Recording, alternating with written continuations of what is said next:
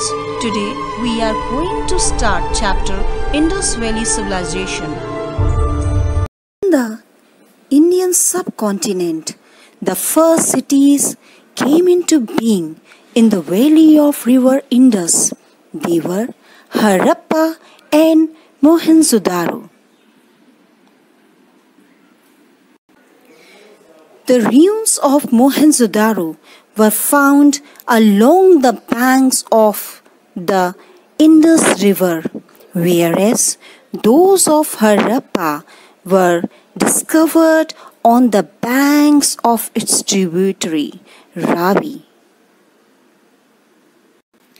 Both these townships and all other smaller settlements on the banks of the Indus and its tributaries are commonly known as Indus Valley Civilization and also as the Harappan Civilization named after first site discovered. Clues and evidences on the basis of which historians write history are known as sources. Historians use different types of sources to learn about the past. The sources they chose depend upon the period of their study and the nature of their investigation. We get the evidences from plates of copper, dry palm leaves, rocks and pillars, stone walls, clay tablets, tools and weapons, etc., which our ancestors have left behind. The first extensive excavation at Harappa was started by Sir Rai Bahadur, Sir Dayaram Sahani in 1920. In 1922, excavations were also carried out at Mohenjo-daro by R.D. Banerjee.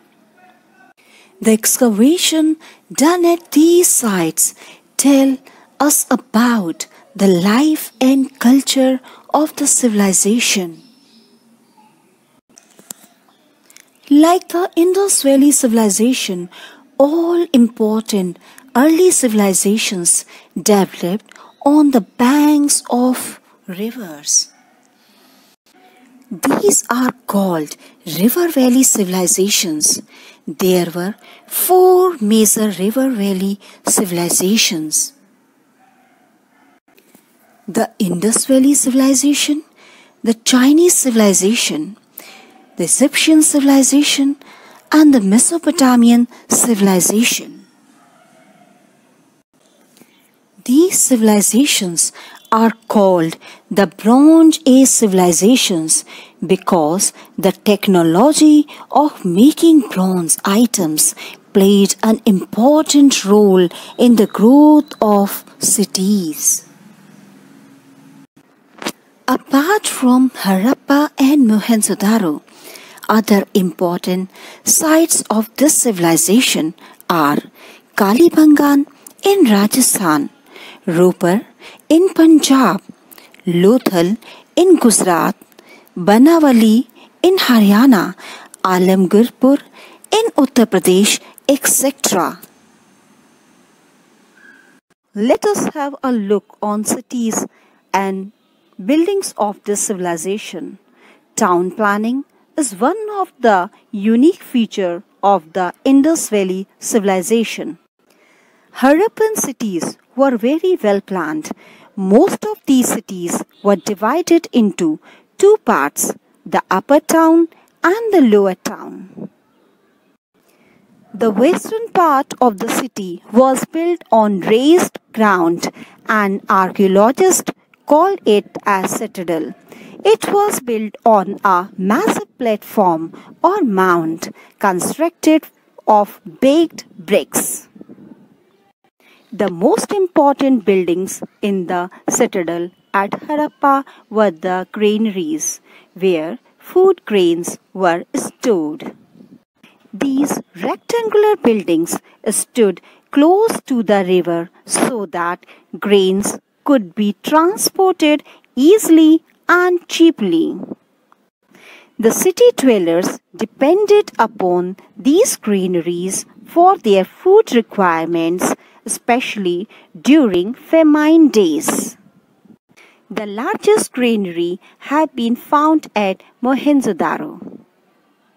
Another important building at Mohenjo-daro was a huge public tank, commonly referred as the Great Bath. It is rectangular structure and resembles a swimming pool. It is made of baked bricks. There were steps leading to the bottom of the pool from two sides.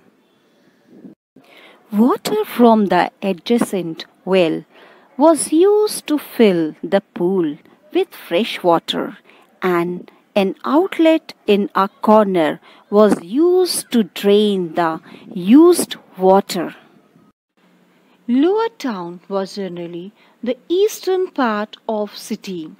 The common people probably lived in the lower town which consisted of smaller houses.